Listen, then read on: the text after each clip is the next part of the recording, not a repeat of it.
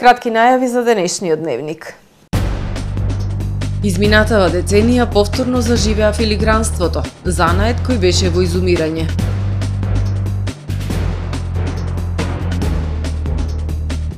Учениците од основното училиште Деберца го одбележаа 22 април денот на планетата Земја.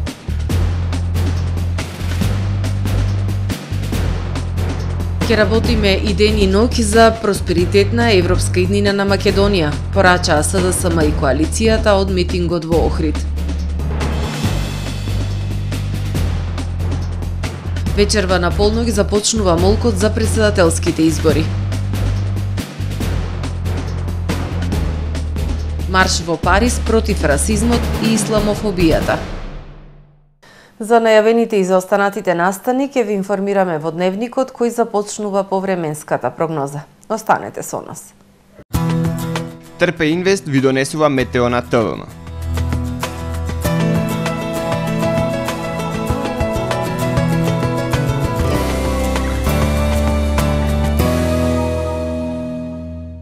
Во Охрид денес по студеното утро, во текот на денот претежно сончево време со појава на локална облачност. Ветровито и потопло време со дневна температура до 15 степени.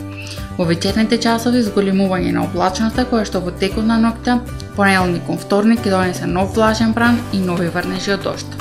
Во вторник во најголем дел од јужна и југоисточна Европа ќе преовладува умерено облачно и нестабилно време со врнежи од дожд и посвежо време со пат на дневните температури. Во областа на Опите, како и во крајните северни и североисточни предели со врнежи од снег, во останатите предели од Европа ќе превладува посвежо време со зголемена облачност. На Балканскиот полуостров ќе превладува умерено облачно и нестабилно време со врнежи од дожд, ветровито и посвежо време. На планините со нови врнежи од снег, максималните дневни температури ќе се движат во интервал од 10 до 19 степени. Во Македонија во вторник ќе превладува облачно и нестабилно време со пообилни врнежи од дожд, ветровито и свежо време со дополнителен пат на температурите. Пообилни врнежи се очекуваат во југозападните, јужните, југоисточните и источните предели, каде што локално се очекуваат да набанат и до 35 литри. Над 2000 метри надморска висина со врнежи од снег. Кидува засилен југоистичен ветер кој ќе достигне брзина до 20 км на час. Минималните температури ќе се движат во интервал од 1 до 11 степени, додека пак максималните дневни температури во Македонија утре ќе достигнат од 5 до 16 степени. Во Охрид во вторник ќе преовладува облачно и нестабилно време со врнежи од дожд, ветровито и посвежо време со пат на температурите. Кидува засилен југоистечен ветер. Минималната температура од 6 степени, додека пак дневната ќе достигне до 10 степени. Во Охрид во среда и четврток ќе преовладува претежно сончево време со појава на локална облачност и топло време. Во попладневните часови се услови за слаб и локален дожд. Утринската температура од 7 степени, додека пак дневната ќе достигне до 17, односно 14 степени. Во петок, умерено облачно време со сончеви периоди и топло време со дневна температура до 15 степени.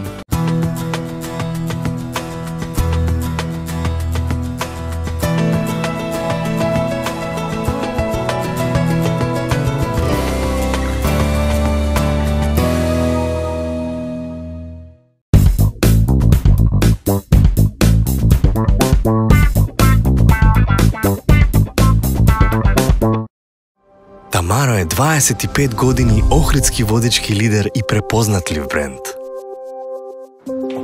Обуките од менеджерскиот тим се доказ за максимална посветеност кон вработените. Тамаро Холдингот се грижи за организацијата и на време пренесените информации кои отсликуваат тимската работа. Секој успех на вработениот е успех и на компанијата. Маркетите располагаат со производи со висок квалитет од секакви брендови по одлични цени. Вкусните печива од Дана Бела пекарата се веќе омилен појадок на многу потрошувачи во Охрид. Анабела кујната услужува голем број на потрошувачи и компании.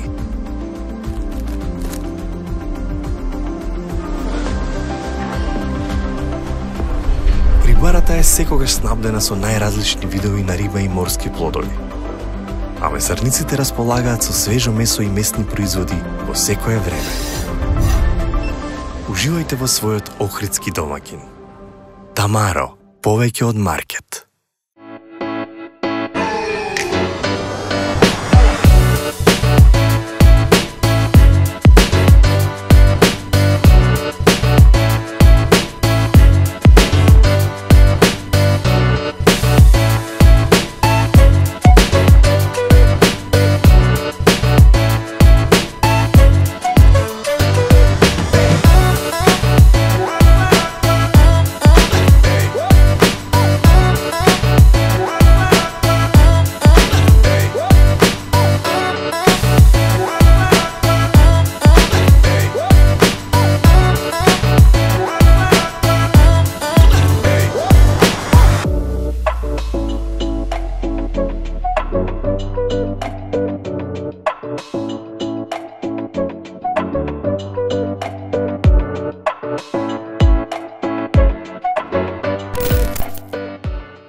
Добре дојдовте во светот на Кармен Бау Центар.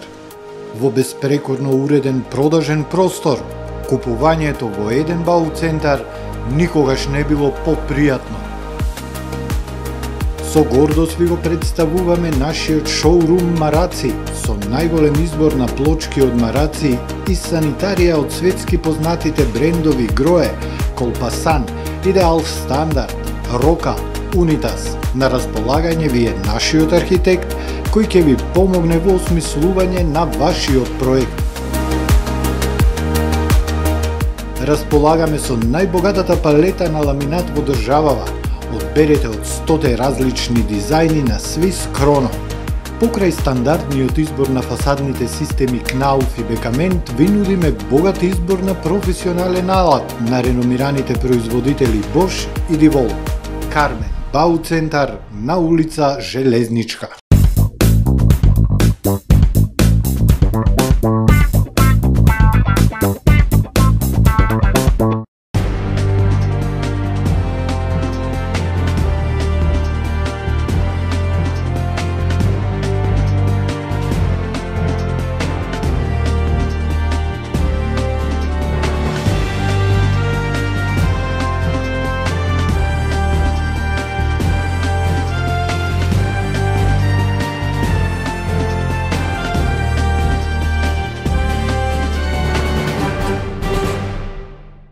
Добар ден, прво издание на Дневникот на ТВМ.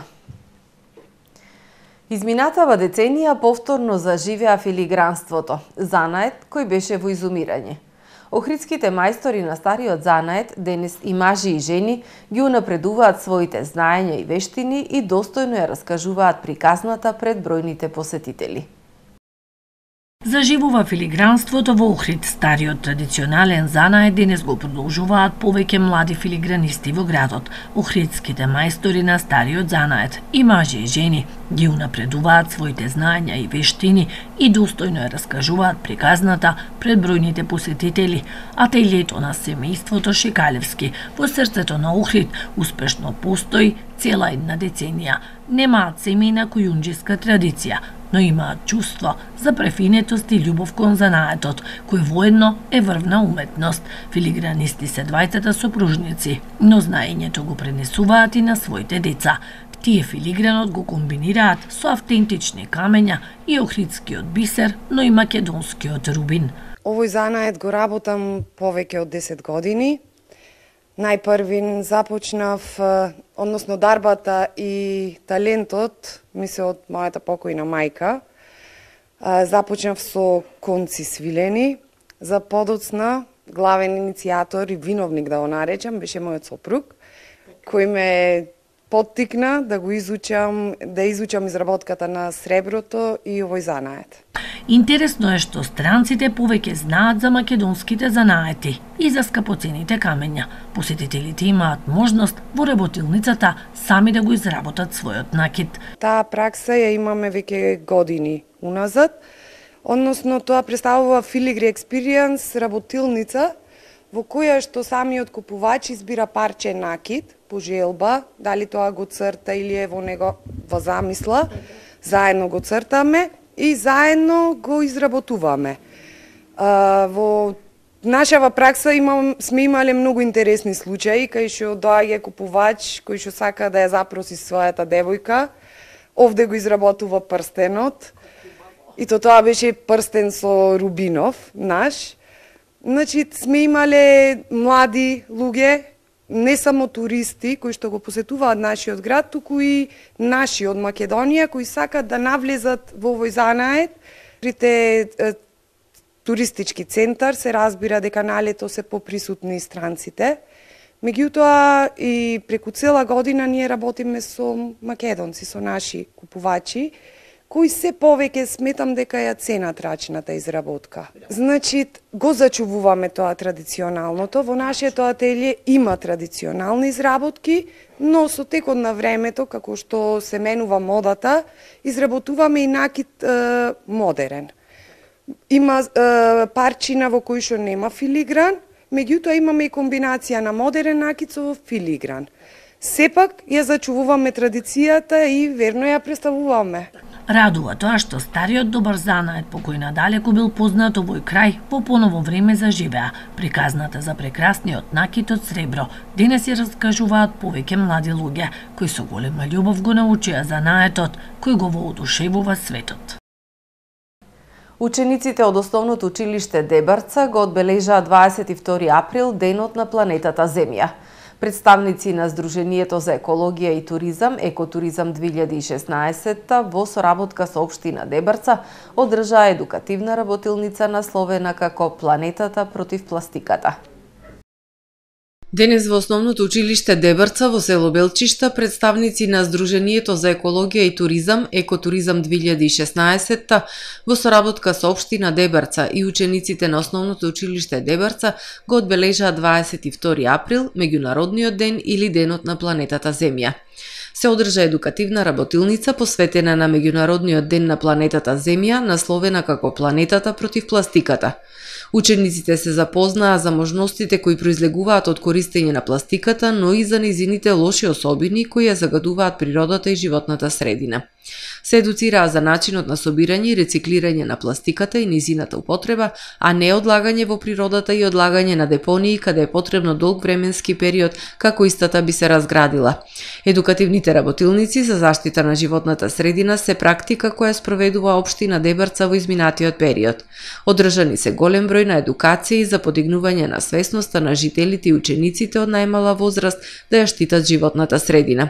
Општината на 17 мај ќе спроведе еколошка акција со учениците на основното училиште Дебарца село Мешеишта, каде во акцијата ќе биде опфатено селото Мешеишта, каде ќе се изврши чистење на центарот и околу училишната зграда. Да ја штитиме планетата Земја, бидејќи резервна немаме, порачуваат од општина Дебарца.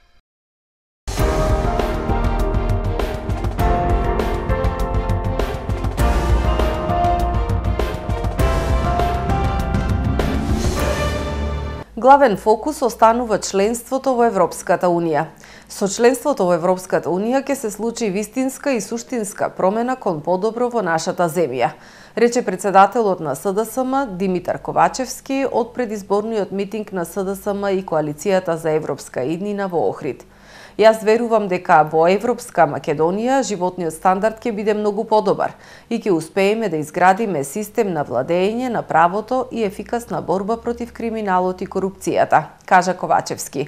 Порача дека ќе работат ден и ноќ за да ја реализираат програмата која им ја ветуваат на граѓаните. Нашата генерација, уште повеќе нашите деца и внуци заслужуваат европска иднина и тоа во наредните пет години. Тоа е нашата визија и план, рече председателот на СДСМ Димитар Ковачевски од предизборниот митинг на Коалицијата за европска иднина во Охрид. Во изминатите седум години направивме многу, имавме подеми и падови, но во ниту еден момент не се откажавме, рече Ковачевски. Порача дека се подготвени да работат ден и ноќ за да ја реализираат нивната програма. Гарантираме просечна плата од 1100 евра и минимална плата од 600 евра. Со влезот во Европската Унија ќе има уште поголем раст и просечната плата од 1300 евра и минималната плата од 800 евра. Гарантираме 20.000 денари минимална пензија и 30.000 денари просечна пензија, но и многу други финансиски мерки и бенефиции за подршка на нашите пензионери. Посебен дел од програмата е посветен на младите. Ќе дадеме се од себе да не дозволиме нашите млади да ја напуштаат татковината. Тоа е мојот порив и тоа е мојата мисија во наредните 4 години. Ковачевски вети по ефикасна, решителна и конечна борба против корупцијата. Јасно и гласно порачувам одовде. Заврши времето на злоупотреби, лично богатење и системски неправди заврши времето на предмети по фиоки.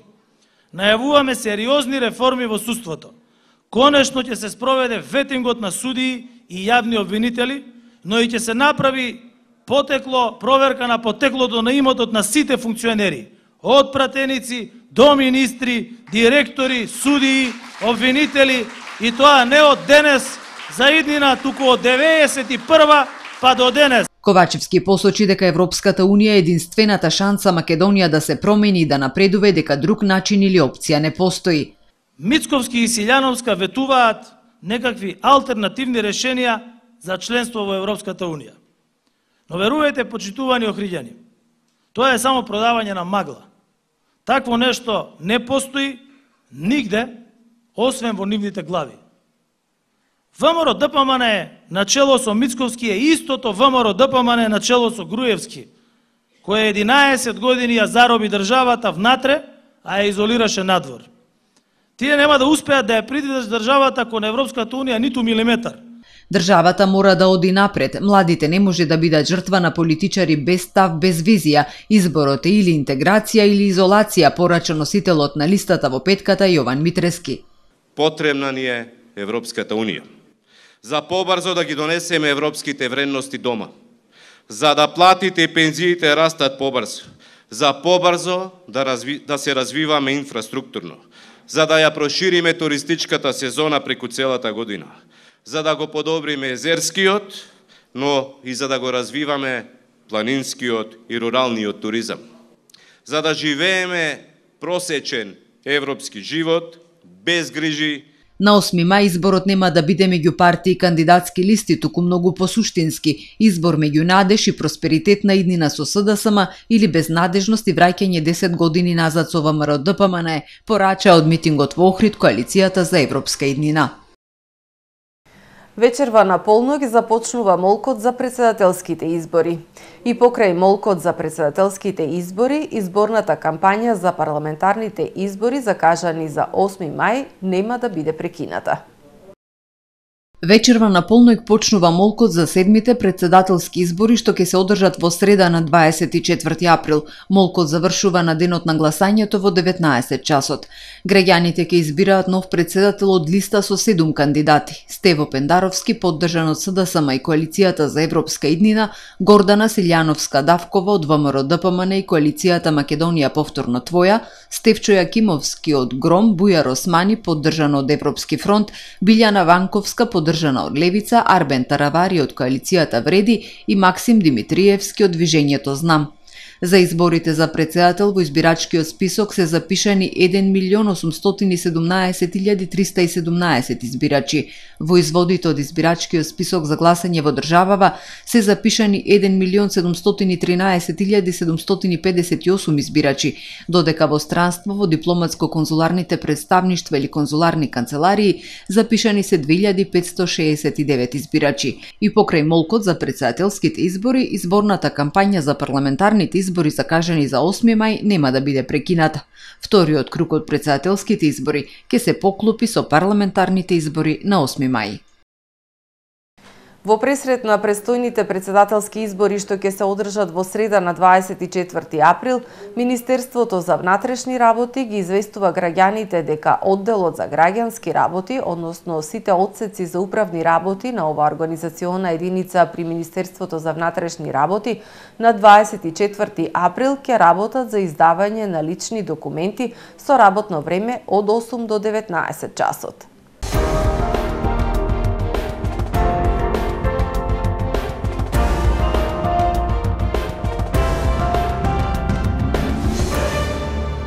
Националната установа библиотека Григор Прличев утре ќе го одбележи Светскиот ден на книгата и авторското право.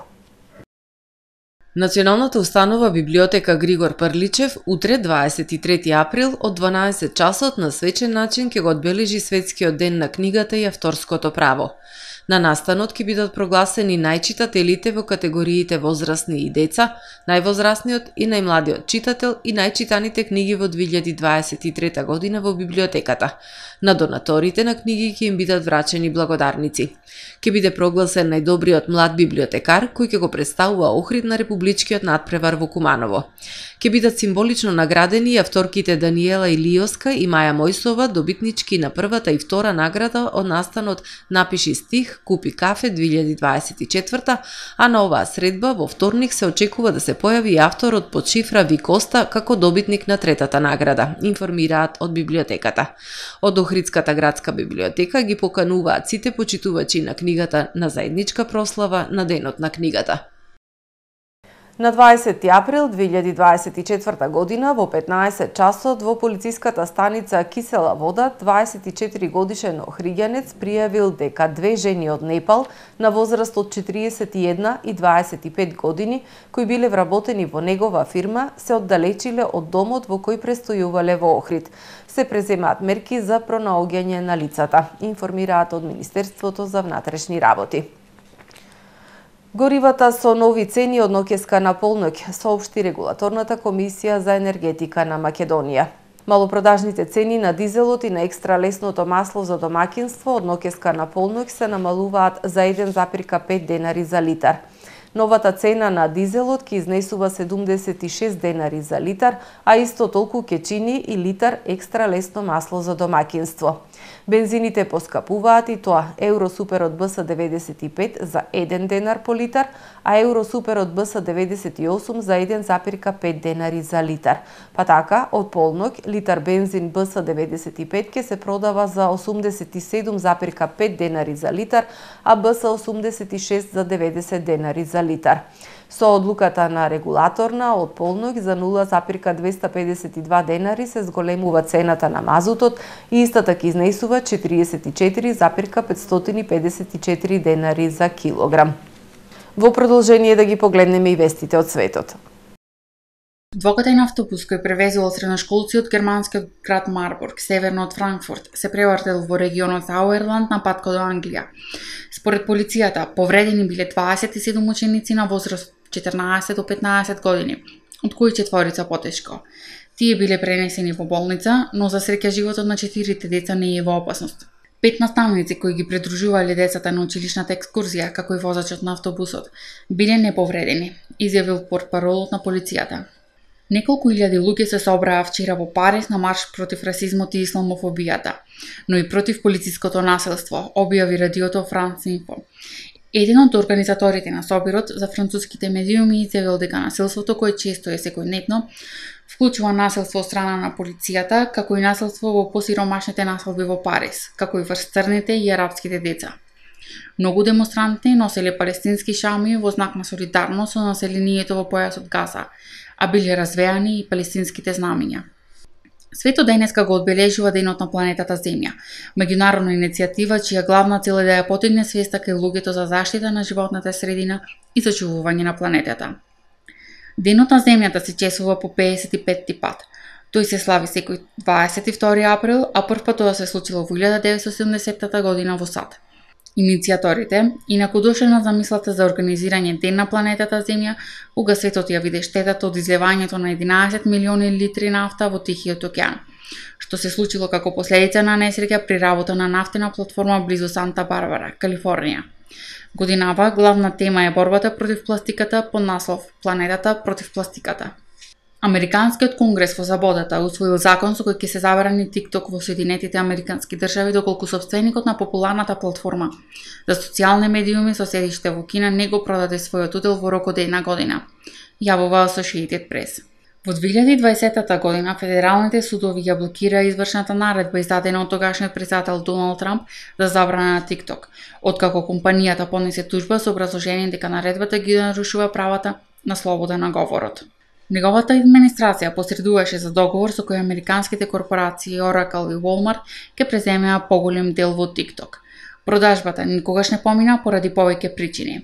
Една од нив беше Кина, која наметна построга контрола на извозот на своите даватели на технологија.